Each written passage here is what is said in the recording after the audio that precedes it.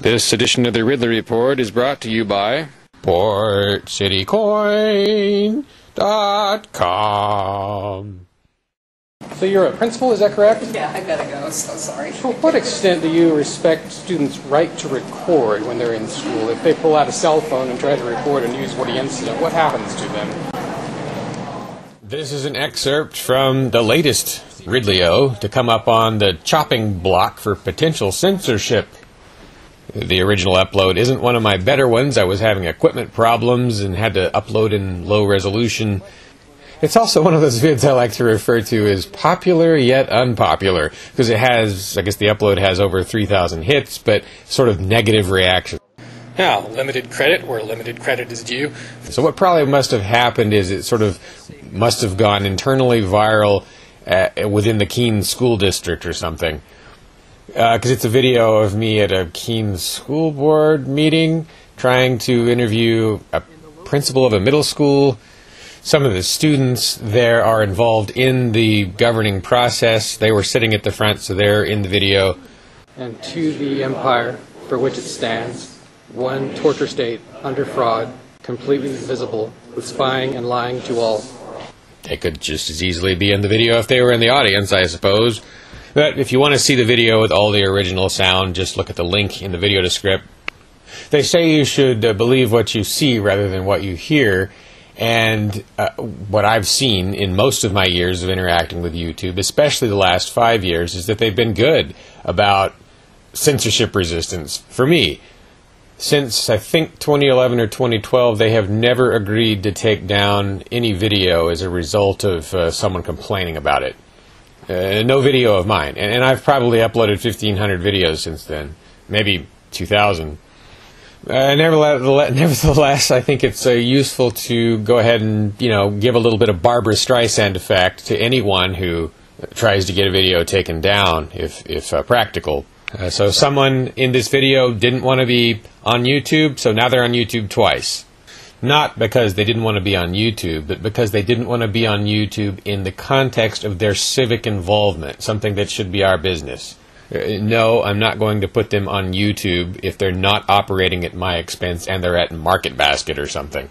Uh, but if someone wants to interfere with the public's right to film the civic process and upload it, a process of which they are a part, then there's going to be an issue.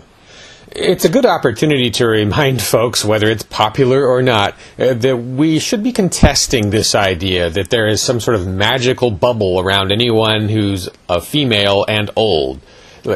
Old women are, you know, just as capable of violating your rights as anybody else. And if they've stolen property, uh, stolen property from you in the form of taxes, uh, or accepted stolen property in the form of taxes, they should be subject, subjected to questioning. One of the uh, concerns I have with YouTube, though, is not so much just the fact that they, you know, they accept these privacy complaints and then notify you of them and maybe, you know, intimidate you into taking a video down. But the, the problem is when they sent me this notification, they sent me a time code, supposedly, that uh, of the spot in the video that uh, someone was complaining about. But the time code is unreadable, uh, unrecognizable. It always is every time I look at these videos. It, it, it's a zero followed by an underscore followed by a zero six.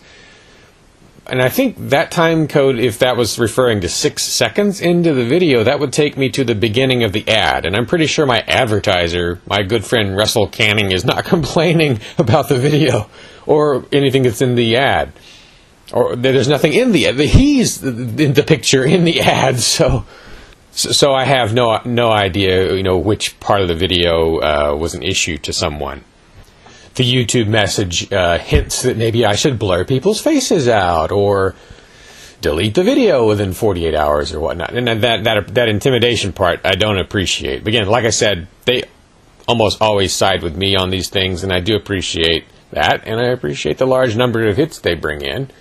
Plus the opportunity to remind folks that many of the folks involved in, or some of the folks, or at least one of the folks involved in the civic process in Keene are bad guys trying to censor you, or me, or keeping you from seeing this video.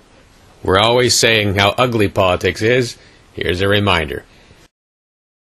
Rare coins, pawns, gold and silver bullion, Check out Port City Coin in Portsmouth, New Hampshire for your precious metal needs.